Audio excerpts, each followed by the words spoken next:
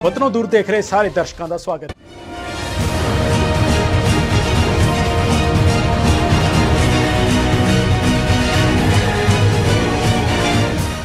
Singhu border ਤੇ ਬੇਰਹਿਮੀ ਨਾਲ ਕਤਲ ਕੀਤੇ ਵਿਅਕਤੀ ਦੀ ਜ਼ਿੰਮੇਵਾਰੀ ਲੈਣ ਵਾਲੇ ਨਿਹੰਗ ਦੇ ਜਥੇਬੰਦੀ ਦੇ ਮੁਖੀ ਨਿਹੰਗ ਅਮਨ ਸਿੰਘ ਦਾ ਪਰਿਵਾਰ ਸਾਹਮਣੇ ਆਇਆ ਹੈ।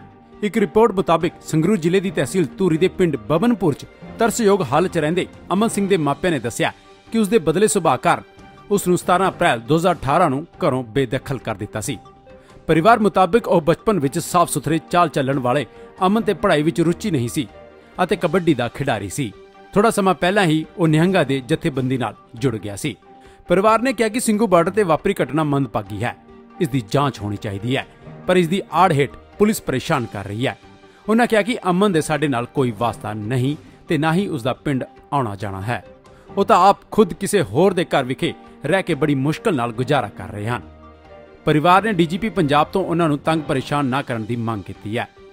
ਅਮਨ ਸਿੰਘ ਦੀ ਮਾਂ ਕੈਂਸਰ ਪੀੜਤ ਹੈ, ਜਦਕਿ ਉਸ ਦਾ ਪਿਤਾ ਬਿਮਾਰ ਰਹਿੰਦਾ ਹੈ। ਹਾਲਤ ਇਹ ਹੈ ਕਿ ਇਲਾਜ ਵੀ ਪਿੰਡ ਦੇ ਲੋਕ ਪੈਸੇ ਇਕੱਠੇ ਕਰਕੇ ਕਰਵਾ ਰਹੇ ਹਨ। ਰੋਜ਼ੀ ਰੋਟੀ ਦੇ ਗੁਜ਼ਾਰੇ ਲਈ ਵੀ ਬੜਾ ਔਖਾ ਹੋਣਾ ਪੈਂਦਾ ਹੈ। ਬਰਨਾਲਾ ਜ਼ਿਲ੍ਹੇ ਦੇ ਥਾਣਾ ਮਹਿਲ ਕਲਾਂ ਵਿਖੇ ਨਿਹੰਗ ਅਮਨ ਸਿੰਘ ਗਾਂਜਾ ਬਰਾਮਦ ਕੇਸ ਵਿੱਚ ਨਾਮਜ਼ਦ ਹੈ।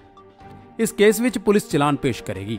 ਥਾਣਾ ਮਹਿਲ ਕਲਾਂ ਦੇ ਐਸਐਚਓ ਬਲਜੀਤ ਸਿੰਘ ਢਿੱਲੋਂ ਮੁਤਾਬਿਕ ਸੀਆਈਏ ਇੰਚਾਰਜ ਬਲਜੀਤ ਸਿੰਘ ਵੱਲੋਂ ਮਾਰੇ ਛਾਪੇ ਗਏ ਦੌਰਾਨ 14 ਜਨਵਰੀ 2018 ਨੂੰ 910 ਕਿਲੋ ਗਾਂਜਾ ਬਰਾਮਦ ਹੋਇਆ ਸੀ।